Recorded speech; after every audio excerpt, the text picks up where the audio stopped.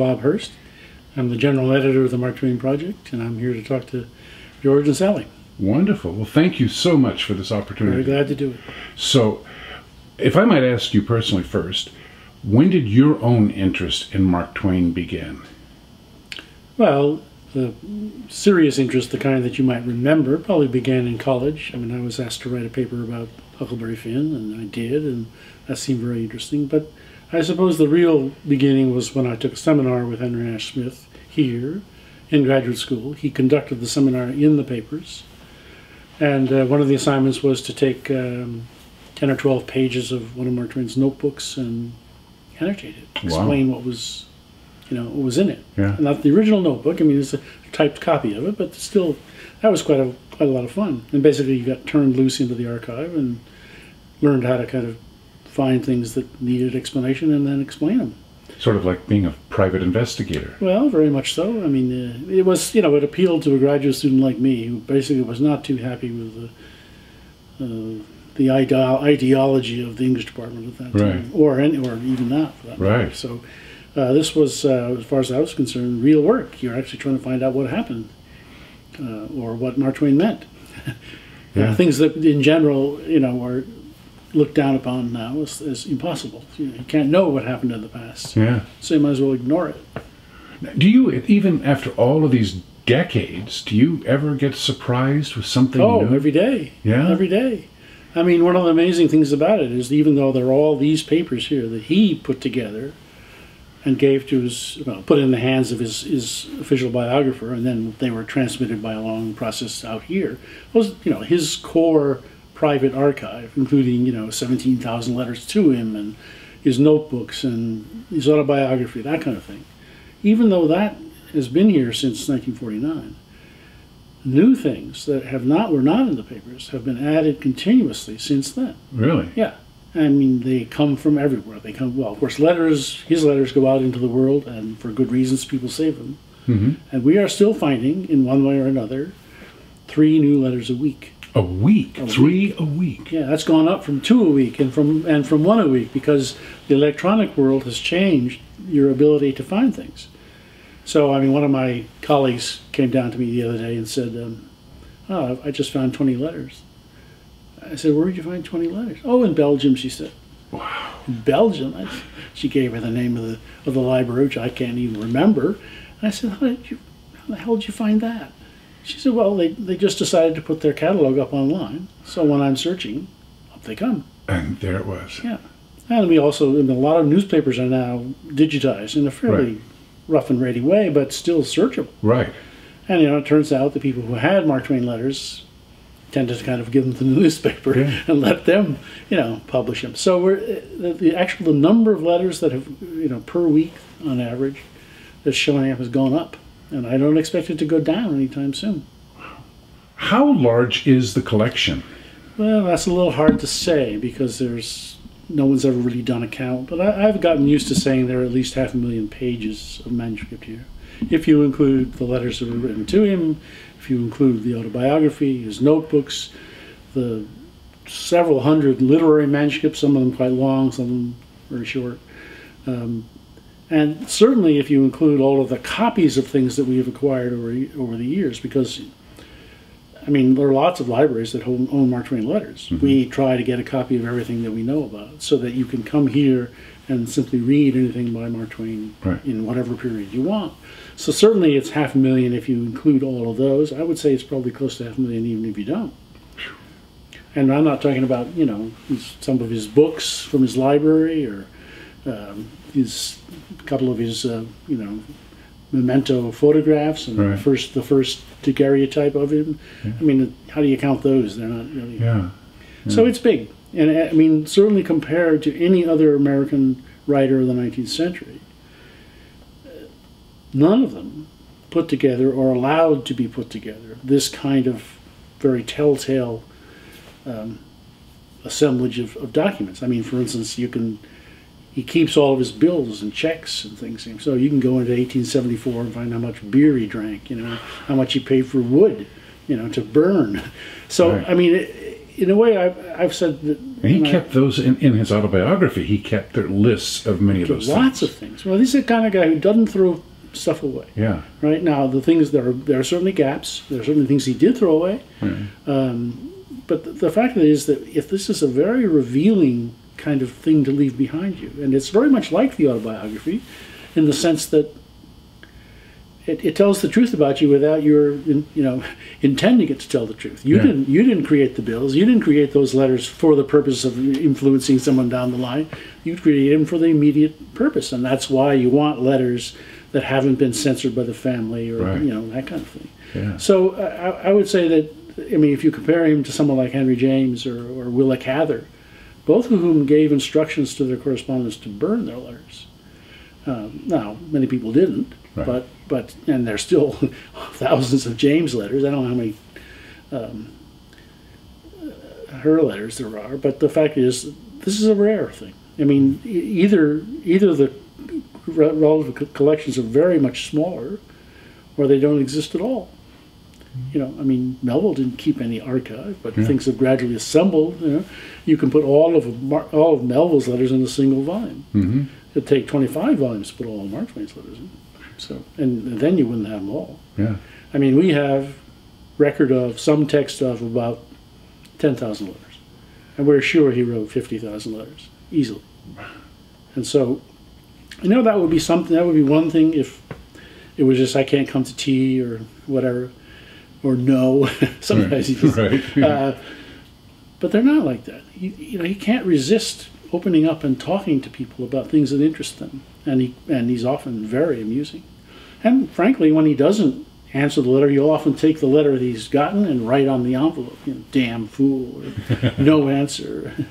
the idiots are mighty thick this season, he said. Is that right? Yeah, that's a a quote, good yeah. one. There are a lot of them. I mean, you know, I, when I talk about Mark Twain, I sort of bring some of those out because they're not things that we would ordinarily publish. I mean, where are they going to go? You know, but they tell they tell you a lot about Mark Twain. I mean, here he is sitting, getting all this mail, which most of which he doesn't really want to have to deal with, all kinds of, you know, requests for autographs, for money, for help. Uh, Well, he was basically the world's first superstar. that is correct, I mean- and people knew that. This is And Mick they- Jagger. they write to him for all kinds of help. And I mean, he can be extremely acidic and nasty.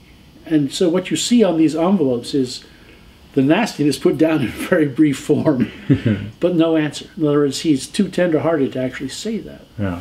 Uh, or, or he'll get a letter. I mean, I'm just thinking one in which he he was asked for advice about by a woman who was a poet and novelist, and she wanted advice getting published. And he wrote her back a letter which we don't have, but a letter which he says basically told her as nice a way as possible that she didn't have any talent and that she wouldn't, you know, she shouldn't. And she writes him again and says, you know, uh, but you know, you, you could help me do this, and you. And he writes on the envelope, I tried to let her down easy. I mean, this is the damn result I get. And it just sort of shows you really what his character is like in a way that you're not, uh, you're not going to be able to pick up on in other things. I have to tell you, as an aside, most of the, the A-list top writers we've spoken with have the same experience today. Bet. Manuscripts left on their porches Oh, with expectations that you're going to read and edit my first time novel about. Yeah. Oh, Um, it happens to Mark Twain throughout his, his public career, and he actually writes several pieces about it. But, but uh, yeah, I'm sure it's not an uncommon thing. yeah. Could you just discuss quickly what you know of how he began as a writer? Where, what his influence was, or what prompted him to begin telling stories? Well, I, I think the be- telling stories must go back very early, earlier than any documents that we have, and so you you're sort of relying on people's memories of this, but that's a little tricky because they get influenced by what they know of him as you know. But I, I think you'd be a fair guess to say that his natural inclination, his natural talent for telling stories and for using the language, in American English, it must have been very early. Okay, and of course, you know, he realizes. I mean, he he hated going to school. And so he resisted going to school. And his mother recalls in 1885, she's about 90, I think, um, that she and her husband couldn't make Sam go regularly to the, common school. They tried and tried, and he would always holly hooky one thing and another. And then, of course, his father dies when he's 11. So she says, Well, I took this moment to kind of really talk to him seriously, and I brought him into the room with the coffin between us and said, Now I want to have a very serious conversation with you. And he bursts into tears and says, Oh, mother, I'll, I'll do anything, anything except go to school. and so she says, You know, I, I mean, that was that. And I, and I just couldn't have him running wild, so I had, had him apprenticed to a printer. And that's where you see the first real influx of, of things to read comes from. I mean, the printer, in, even in a small town, is receiving exchanges, newspapers, free newspapers. There's a, there's a law that says basically if you send your newspaper to this guy and he sends his to you, they can go through the mails free. Right. So little newspapers like this relied on what they're called exchanges. So they're, you know, he's got stacks of exchanges to read, and he's of course taught how to set up type. Type. Right. So it, it becomes a you know a fairly important thing soon on, and we know that really within a within a year or so of his starting to work for his brother in 1851, he starts writing squibs for the newspaper. And when Orion, that's his older brother who owned the thing, um, when he goes away to St. Louis for a couple of weeks, Clemens gets in there, writes several things, you know, things that are, you know, pretty pretty tough on the local printer. You know, the guy who's been jilted, uh, he makes just brutal fun of him in a way that that was very revealing. I think of what Clemens must have been like early on. He had a capacity for wounding you with with words that he had to learn how to control. Got in any case, so it got starts him in that trouble early. in Nevada. Real got him in trouble in Nevada. real boy. serious. Yeah, I mean, no, it takes a while. It takes a while before he realizes how uh, how how painful his his comments can be. I mean, I always told the story about that when he's getting he's engaged to Olivia Langdon. This would be 1869. Mr. Langdon says, you know, we think we need some references. Nobody around here knows who you are. Charlie does. Charlie's her younger brother, but he's, he doesn't count. So he gives Mr. Langdon the names of three or four ministers out here in San Francisco that, Yes. that he has made fun of in print, and, and but considers friend himself friends. And they write back and say, you know, they would rather bury a daughter of theirs than, than have him marry someone like Clemens. And, and they, you know, they detail his, his carousing and stuff in, in San Francisco. I, the reason that's of interest, among other things, is that he doesn't, intuitively, doesn't grasp that having made fun of these guys, they're not going to be his friends. I mean, they're not going to be his loyal friends at all. Right. So, I mean, it's a learning process to, to learn how to master that, learn how to master that, that ability to wound and put it to good service. I mean, after all, it becomes a very important part of all of the good stuff they wrote. To your knowledge, was there anyone else at the time writing in the way that he began writing? Well, he's, we know for a fact that he is uh, conversant with all the Southwest humorists. Right. I mean, the evidence I give is there's, there's a, a diplomat in London in 1873 when Clemens and his wife were there, and um, he writes down in his journal the conversation that's been had, and he makes the point, you know, that Mark Twain knew this guy Longstreet, this not not not the not person, but knew their stuff, remembered their stuff. In other words, he had it at his fingertips. He wasn't, you know, digging a book out. So he has a deep immersion in what's what we think of as the Southwest humorist tradition. And you know, when he wants to get his early stuff published, he sends it off to um, a journal in in Boston, uh, something called uh, the Yankee and the the, the Dandy and the Squatter. Um, so he's he has a sense of newspaper humor out there that he could be part of, and that's a that's a good thing and a bad thing because it's sort of easy to do for him. He's very funny. It's easy to do for him, but it's not uh, you know, it's like third rate literature. It's not even literature. So for a long while, I mean, really until 1865, until he's almost 30, he puts off deciding to, to be a writer. I mean, because a humorist writer, he says, you know, it's the one telling, i.e., literature of a low order, i.e., humorous. Right. Uh, That was something he didn't think he could, you know, achieve a kind of social standing with. That you know, that's why he's resisting it. But he finally forced to it. And basically, within 20 years, he changes the way in which Americans thought about literary humor. I mean, Ah. 20 years is Huckleberry Finn. from that. You know, so I think it's interesting that, that no literary critic that I know has made a plausible argument that Mark Twain's style or his his talent is somehow or other derivative of anybody. I mean, at the time, he's known he's known as sui generis, mm-hmm. sui, uh, thing unto himself, yeah. and that's right. I mean, in other words, you know, you can find people who have a similar style.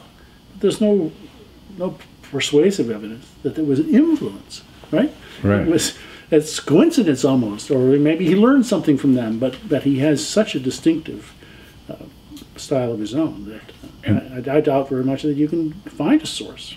And then there's an incredible attention to language, idiomatic phrasing, just well, almost, almost deep, scientific. Well, I mean, he is deeply deeply interested in the language. There's no question about that. Yeah. And he has a capacity for absorbing it and remembering it and using it, which is, uh, well, it's a landmark. I mean, I often say that the OED, the Oxford English Dictionary, has maybe 200 references to Tom Sawyer, but they haven't read anything else. I mean, what they ought to read, they ought to read are the things where you know he's you know he's telling you what a what, what this word means or that word means. Oh, high flying esophagus. well, I mean that's a that's a fairly tricky one.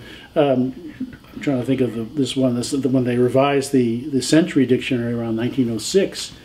Um, they run across a word in in Pudd'nhead Wilson and in Yankee, uh, which I'm forgetting at the moment. Yeah. And they write the the header. This thing writes to Clemens and asks him what it means. And he writes back a letter that says, you know, I'm, I'm the man, I'm the authority that says that this word meant in Missouri, used by all all the male members of Missouri except certain of the clergy, meant this and that and that. And, you know, he just rolls it right out. I mean, it's just, and that becomes actually the definition used in the. In the I, I think you, if you just look at it long enough, you realize that he's he's fascinated by what um, the non-standard yeah. guys have come up with and of course continue to come up with. I recall a, a, a, story in the autobiography of him paying a young boy at a hotel to just talk to him while he took notes on the language, mm-hmm. on the, the pronunciations. He actually he actually writes something which he throws into the New York Times, um, which is based on that. I mean, which is basically. Uh, you can call it a transcript. It's an art, artful transcript of what this conversation was all about. Right. Um, and yeah, I mean that's that occurs early on, but in the 1870 71, uh, when he's on lecture tour, and you know there are people like Shelley Fishkin who think that's the beginning of his interest in black dialect because this kid is clearly black. Right. I mean, he's a real kid. We can look him up. You know, we can look up the family. We know how many kids the right. family. We know all about him. Um, but yes, he, for the rest of his life, actually, anybody who shows up who's got a kind of uh, capacity to keep on talking and talking and talking. He's interested, and he he wants any record of that he can get. Wow. And and you know when he's when he's corresponding with H. H. Rogers, they both get letters from cranks and you know wise sort of odd people out, and he wants to see those. Yeah. And that's to collect them. He's going to make a book out of them. But it but really it has to do with the fact that uh, this naive speaker is very appealing to him, not only because of what he invents, but because of what you can do with him, you know, which yeah. is what happens in Huck, you see. Yeah. I mean, the naive speaker in Huck is Huck, and he, you know, he revolutionizes the way you write yeah. novels. I don't, you know, the way ways to put it. I mean, that's what that's what Hemingway's talking about. He said, you know, you don't have to speak the way Howells spoke or the way Henry James spoke.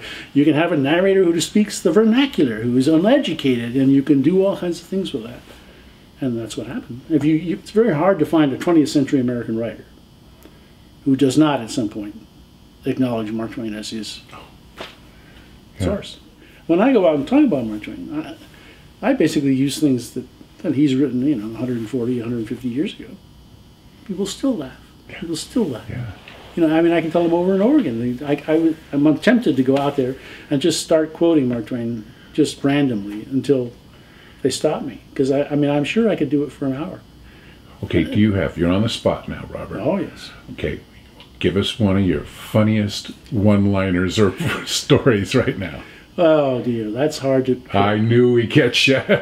well, no, I mean there are so many; it's hard to pick. Uh, I was just uh, I was just talking back east about a letter that we found fairly recently was published in the Hartford Courant, Uh, this is his hometown newspaper, and it's actually an advertisement that says reward two hundred and five dollars, uh, and it says in sign Samuel L. Clemens, and it says um, at the baseball meeting on, on Thursday, uh, while I was hurrahing, uh, a little boy walked off with a good brown silk English umbrella which belonged to me and forgot to bring it back. I will offer, I will give five dollars to anyone who returns that umbrella in good condition to my house on Farmington Avenue. I do not want the boy in a living state, but I will pay two hundred dollars for his remains.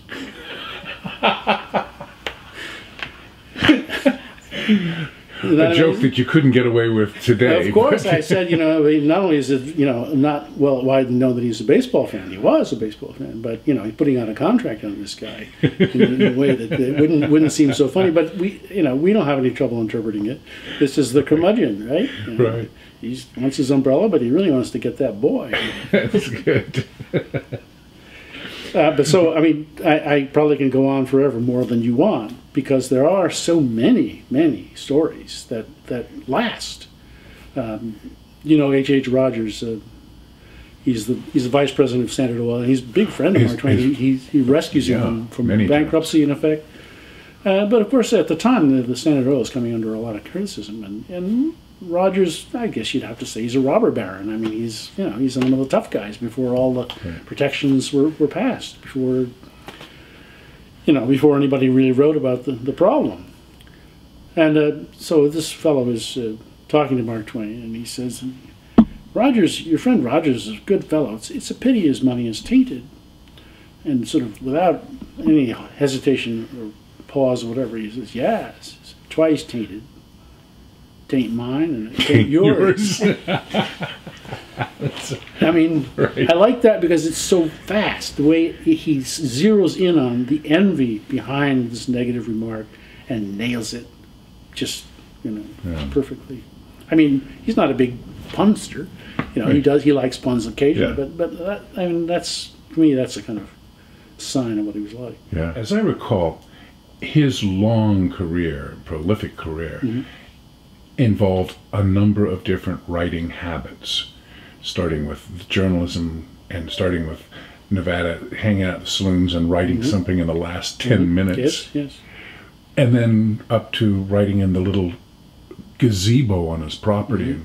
Could you talk about some of his writing, actual writing habits? Well, uh, we, we know a little bit about them, not a lot. Right. Um, certainly, if you're a journalist in, in, in Nevada or in San Francisco, you have to have a capacity for generating copy, and it turns out a very good copy, almost at will.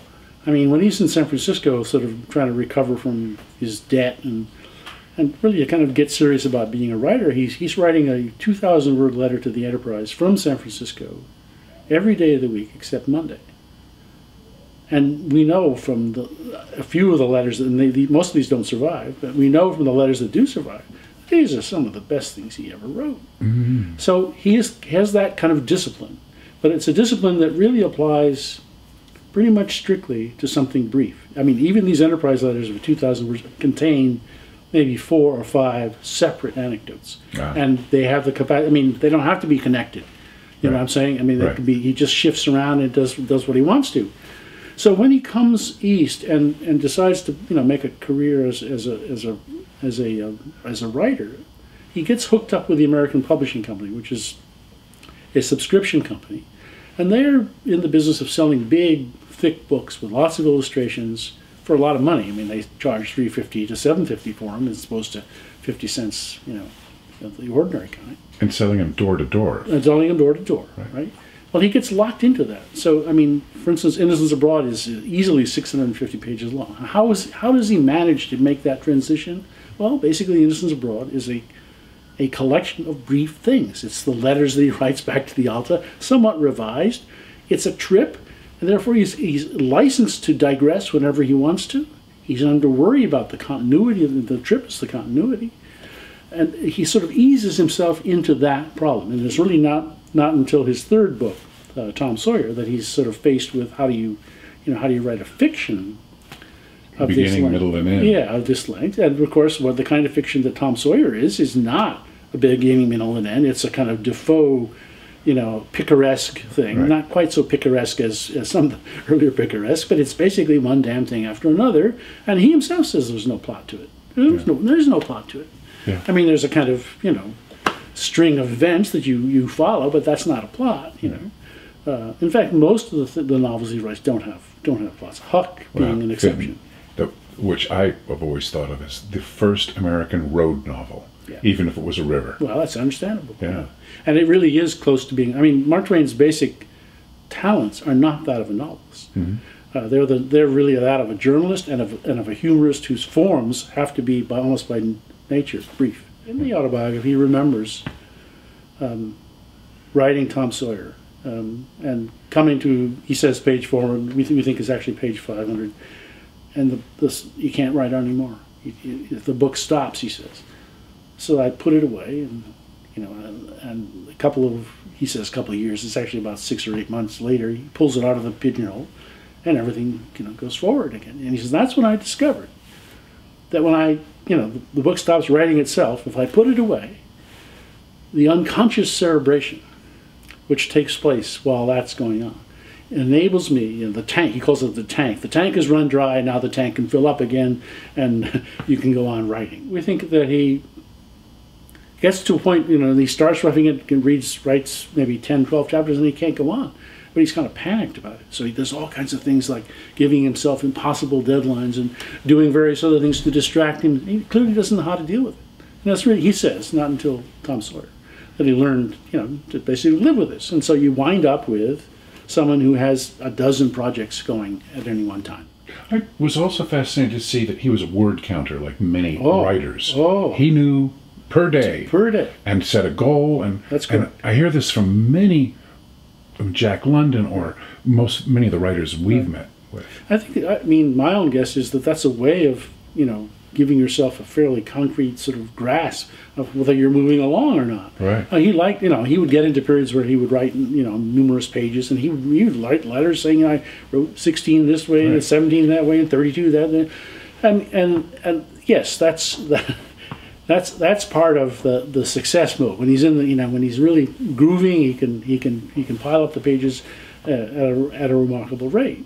But I think he also you, you referred to the, the composition in the little studio. That the, basically it's a octagonal Right. house that's just a little higher up from from the house uh, that he's living in, but the, they are all on top of a hill in Elmira. So, in the absence of uh, air conditioning, uh, it was a good place to write in the summer because the windows were free, and and he would literally go up there in the in the morning after breakfast and stay, and then come down around four, uh, skip lunch, didn't want to eat, and depending on what he was working on, he would he would read that the result of that to his to his family. So he'd get a kind of immediate feedback on, on stuff thing. But it also, I think, it shows, you know, he realizes that unless he gives himself a pattern, he's not gonna he's not gonna make progress. Now, Robert, could you talk briefly about, or just tell the story about Mark Twain's adoption of new technology in writing? I mean, we're talking. He he bought the first Macintosh computer. No, it wasn't a Macintosh. No, it wasn't. It was just a very a very uh, inadequate kind of typewriter. Well, I, I think you just have to say that, that, that Mark Twain was fascinated by any kind of technology that, especially that would help him write.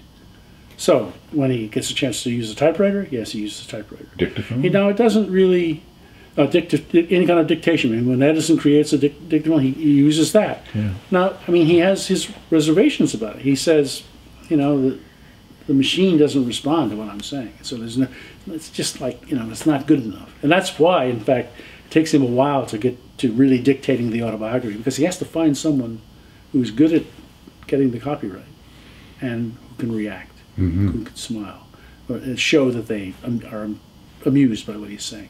In any case, so the dictaphone, the typewriter, he actually owns a typewriter at several periods in his life, and he he can type, um, but it, it really doesn't appeal to him. I think actually he must have gotten some kind of physical pleasure out of using that pen because his handwriting is one of the clearest in the world, um, and you can find documents from the beginning to the end that are just beautifully written. Now they're not they're not uh, feminine in that you know not a curlicue, but they're just very plain style, very clear. So I mean, of course, the the arch example is his interest in the automatic typesetter. I mean, everyone knew that typesetting would be automated. Everyone knew that, and there must have been 200 attempts out there when he when he starts to kind of invest money in the Paige typesetter. Um, and he, you know, he's absolutely fascinated by the idea that this can be done easily, right? That you could instead of having to sit there and you know put little pieces of that it can be done just by typing, and that it can be justified by typing. And that's one of the things the Paige machine does. That I don't think the, the I don't think the linotype did. I think you had to kind of hand uh, uh, justify each line, and then cast it and so forth and so on. So, I mean, there's no question in my mind that he's he's acting out, you know, a deep experience he's had with typesetting in a way that, that he thinks, well, it may well make him a lot of money, but but it's also just fascinating that it can be done. You know, mm-hmm. so I would say if he were alive today, he certainly would own two or three or four or five or six computers, and he would be on all, all of the all, he'd have all the Apple stuff. And, Yeah. You know, he he loved it. There's no Yeah. question about it. Yeah. Telephone, another one. I mean, you know, Oh. first guy to get a telephone in Hartford. You know, Right. Even though it only goes between his house and the newspaper. You know, I mean, uh, and you know, it's a pretty it's a pretty crude thing at the time. You know, they couldn't. Uh, your phone didn't work at night because they had no way of protecting the, the line from the from the current that went through to light the streets. You get all kinds of static, and so when they finally figure out that, I mean, and bury it, you know, then it gets a little bit better. But in his lifetime, you know, it, it goes from about 18, 1885 to well, when he's in New York, I mean, the phone is actually a pretty good uh, instrument. He actually communicates with it, and you know, he keeps people's numbers, and like, so you know, he's any technology like that uh, that he can put up with. Now he may complain about it, Right. Well, and he did complain about it. nothing was sacred. No, absolutely not. you know, he says basically, you know, hope everyone goes to heaven except the guy who invented the telephone. Right? right. I just have to ask either you, Robert Hirst, or you as the surrogate for Mark Twain, what kind of advice they would have, you would have, for aspiring writers. Now, Twain must have had some, one of those quips or anecdotes that Well, one of the things he says to these people who write him and ask him for help is that writing is not different from other trades. An apprenticeship is necessary. And apprenticeship has to be generally served without pay, or at least at very low pay. And so I think his, his advice would be basically keep at it and realize that you're you're still at the learning stage and keep trying and don't ask for people like me or to accelerate you to the heights you know you do it the same way we did one step at a time and if you're i mean he had a great faith i think in the judgment of what he calls the, the, the great reading public and this basically that's the only judgment that matters you know if they think if it's okay then then it's okay works. and it doesn't matter what I think or you think. Yeah. It's what they think. If you're writing for the public, that's what they think that matters. So I think he would make that kind of advice. Say basically, keep at it. Don't don't be impatient with your apprenticeship. Take your time. Some apprenticeships like his will be much longer than others. And of course, he has you know a life earlier on that's filled, as he says, is filled with apprenticeships. You know, I mean, not just not just writing. It took him a long time. I mean, this he doesn't decide in San Francisco to be, you know, to make something out of his talent as a writer until he's 30 years old. And in a time when basically life expectancy was maybe 55 and max, that's quite late. Yeah. Right? He's not married, you know. He's so he's really pushed his adolescence, you know, fairly far out there. So don't be uh, don't be impatient. Well, it occurs to me that I it, forgot to open up the obvious, most important thing to you.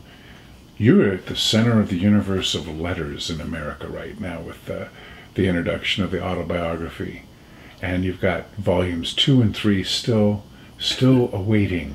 Any comments you want to make about? Well, let's, let's be clear. this- I'm, I'm not the editor of the autobiography. Right. I work with people who are the genius editors who figured that whole thing out and did it, and I'm, I'm, I'm just a kind of spectator. You know, I'm, I'm the Darth Vader who sits in the corner office and says I like this and I don't like that. You know, um, it's it's very exciting for us because, in, in general, we're, we're doing a scholarly edition, and, and the notion that a book could sell more than 2,000 copies, one of our books. You you've got a bestseller. Oh, we had a bestseller. We had we were on the New York Times bestseller list Yeah. for 24 weeks. Yeah. This is a new world for us. This is we're not we're not accustomed to this, and we don't. In many ways, we don't know how, what to think about it. Um, but we think it's. I think that what you're seeing is the kind of emergence of, of what Mark Twain called his submerged audience, an audience that was faithful to his readings, that read everything he published, but that was unknown to him personally. He never met him, but they they buy lots and lots of books, and even though we thought we knew Mark Twain was fairly popular, we had no idea that his autobiography would be would sell a half a million copies. I mean, it just it's beyond our ken. So we're trying, we're still trying to get used to it, and also just to understand it a little bit better than we than we do. It's exciting. Yes, it is very so. Dynamite job you guys did. Well, I'm glad Three think so. thumbs up to you. Well, I'll tell the editors you think that's great because I do too. I passed it. I said, "Yeah, that's okay. We can we can publish that." that's the big job around here, you know, saying okay. Thank you, Robert. You're very welcome. It's really wonderful. Good.